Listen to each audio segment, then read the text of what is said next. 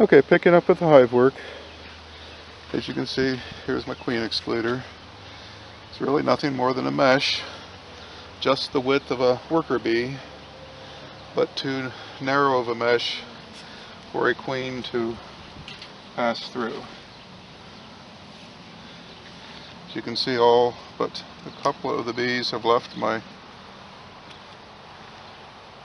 top cover, or the inner cover.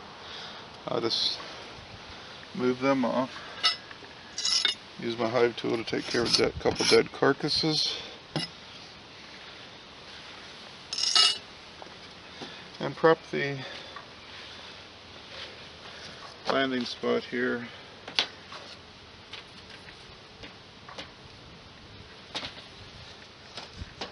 With the queen excluder is what I plan to do.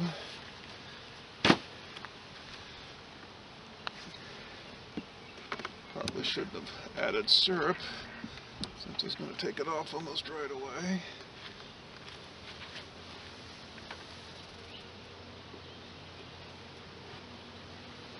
Store the top there for a moment. I'm going to break the hive between these two bodies. Whoops. Didn't mean to drop it. That'll make them become of heightened awareness anyway that something's going on. A little bit of squirt in there, with a of drench. Just gonna lift both boxes off. Position directly on top of the excluder. Now we can look at a couple of these frames in this mixed deep medium box. I'm just going to go ahead and remove the burr comb at the top here. I'll store it right here where I can pick it up in a little bit. Keep the hive area clean. The reason I want to move this burr is because I would be putting a queen excluder right down at this area Come on, bee,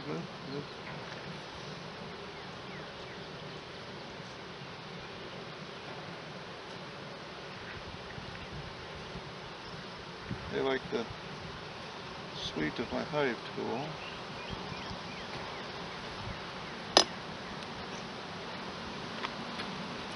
I can see right here where I have sheared open some drone comb. I don't see any mite on it or running around the tops of my frames. May not notice it. I'm new to this after 20 years. Don't have a real good idea what I'm looking for yet, but I'm learning. See the bees on the tool. Looking over the wax, trying to figure out what's going on.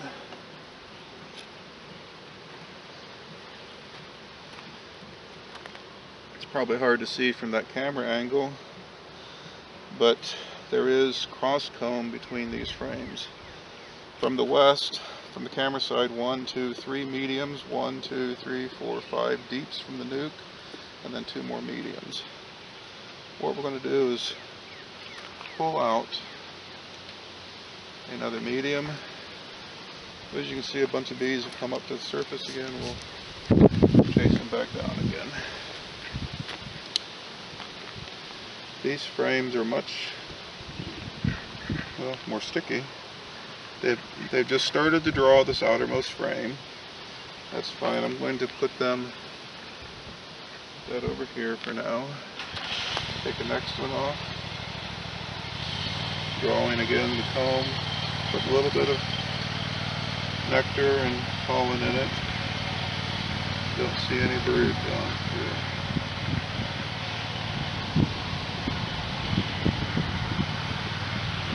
be enough open there for the queen to be there. I don't think, so we'll take a look at this one.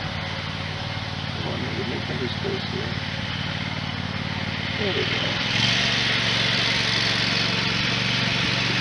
got the brood in here. Somewhere though.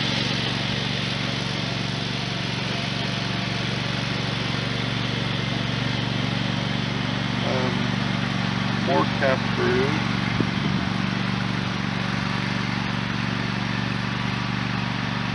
perhaps eggs in these cells as well. A little bit of capped honey around here, propolis around this area, capped brood toward the center. This next frame is one of the original deeps. Shear it apart here.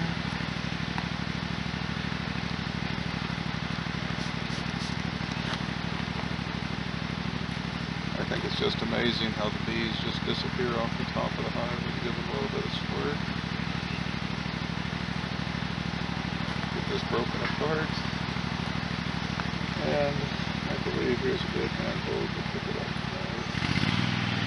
Deep frame, brood, drone comb at the bottom. Here we fill with brood.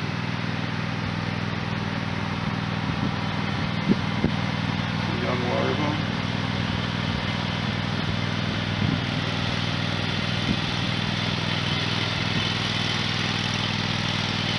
A pollen, a lot of capped brood, a little bit of honey at the edges. And again, you can see the burr comb with a lot of drone cells in it. And it looks like some, call maybe some queen cells here. Right there and there, but maybe not. The cups. Let's hold on here.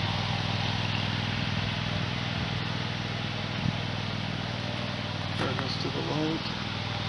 They are empty of egg. They may only be, well, those look like maybe some queen cells that were pulled out. Gonna have to put this one back in in its place. Make a spacer under there. Leave a little. Pull out the centermost hive. Center of the hive frame. Number two.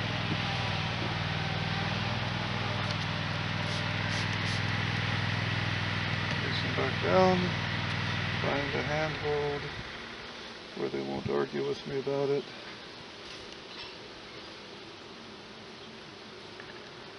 Again, quite a heavy frame. Pollen around the outer edge, just a touch of honey, but it looks like fully capped brood all through the center. Uh, again, mostly fully capped brood, pollen around the edges. Well, she's got fully capped brood down here. May well be that she had moved to the box up above. Here's the other center frame.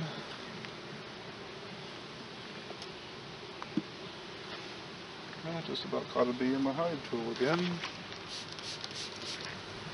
Isn't that funny how the bees just run right down inside the comb when you give them a squirt of that?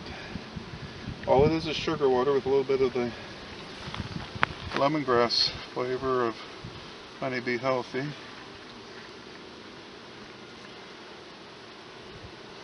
Some honey, pollen, and closed brood from the outside edge. Open area where brood is hatched. I'm not seeing anything with related to eggs in there.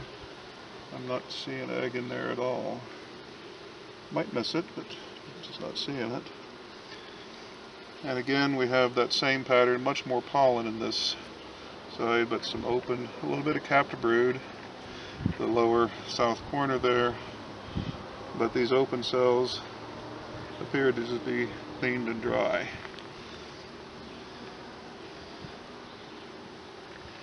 Squeeze this down in here without injuring them if I can. Give them a chance to move away. See the bee in the hand? As long as you don't disturb them, they aren't going to be disturbing you. Take out this one. Break the red heat adhered cross comb. Again, cut down. Oops, bee ran into me. Probably time to say goodnight. Now we can cut this between these two frames edges very easily. Okay, it's all pulled apart. Here seems to be a handhold. Not as heavy. A lot of drone comb in the bottom. empty cells in the middle, a little bit of capped brood on the outer edges going into some honey and pollen. I see larvae in the center here. Yeah, yep, there's eggs on the outer edge here too, so who knows where the queen is. Who knows? But if she's got this filled with eggs and larvae, she's probably not on this side anymore. Almost an entirely empty area.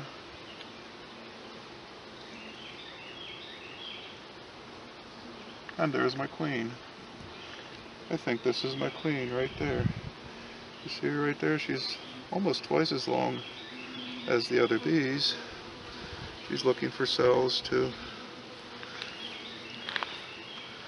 What I'm going to do is deliberately knock her off over here if I can find her again.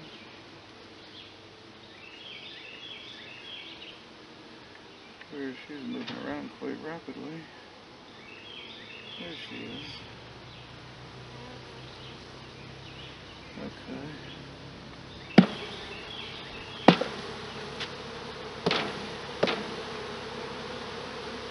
Okay, caused a bit of a disturbance here. Knocking them off uncertainly. This will help them calm down a bit. Hooray, Daniel found his queen for the first time this year. When she went into this thing,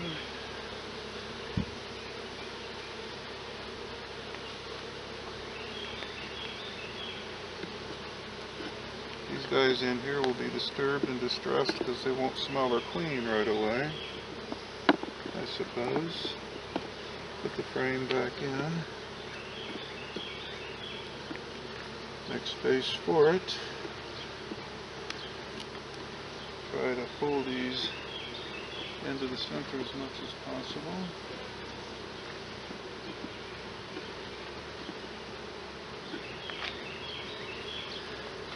She disappeared right well right into this box when I dropped her in.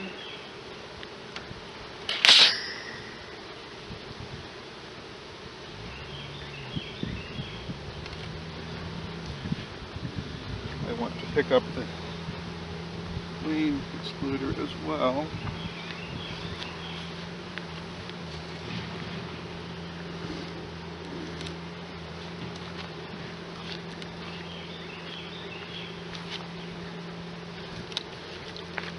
I'm going to get rid of these bees on top here so they're not a nuisance for putting this back in. It's said that you smash less bees moving boxes back on top of each other if you can slide them as opposed to lift them downward. You can maybe see how some of the bees just sort of move out of the way when that happens. There, I got my second sting. Pinched a bee between my finger. So we'll come over here. You can see her stinger right there in my hand. I'm just going to pull it loose.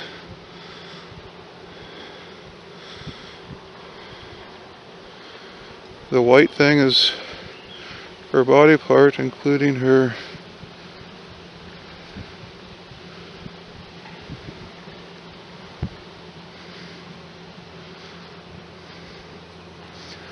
um, venom sac. So we'll have to scrape that away. You can see the, the bee there on my finger. He's She's not certain what she wants to do yet. But I'll shake her back open. Five.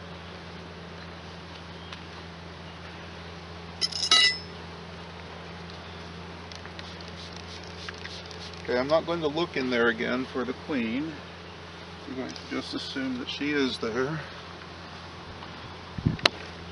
Knock those all off. That's in preparation for putting the nectar feeder back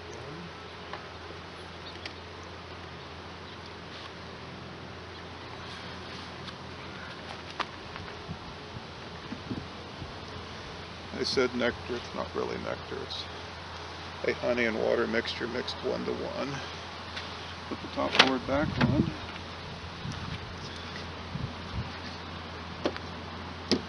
Try to get rid of this bee here.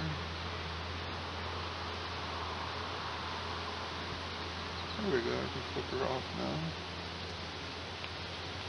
Flip off the top board back in place, the inner cover. Put a little stick for ventilation and put these back on. Okay, so what I've done is found my queen, saw that there were egg and brood both in upper and lower. Well let's see. Drawing wax and storing a little bit of nectar in here in this topmost medium. In the center medium there's saw definite brood eggs and other sorted goodies indicating a healthy hive pollen and honey and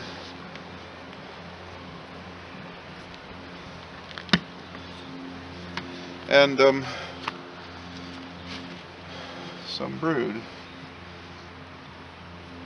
And in the bottom, then I put the queen excluder on. Let's get that rearranged there. Got a sweat bead hanging around here now. He's looking for a snack, I think. Lined up again. Careful about just walking willy-nilly to the front of the hive, because that is their flight path. So I have my queen excluder, which should hold the queen up here, which will let these frames in the bottom, the brood there hatch, grow and hatch, and the, since there's no queen down here, I should not see eggs in there next time I open the hive in about a week or so. And that will be grand because then I can take the take the deep frames out, set them out for the bees to steal from, to clean up, or take it and harvest the honey that's in it and clean it, or something. And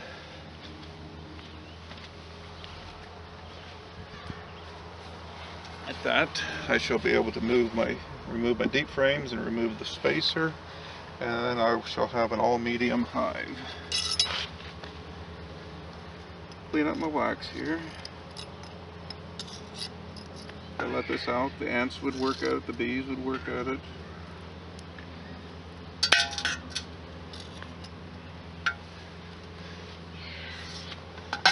Okay. End of story.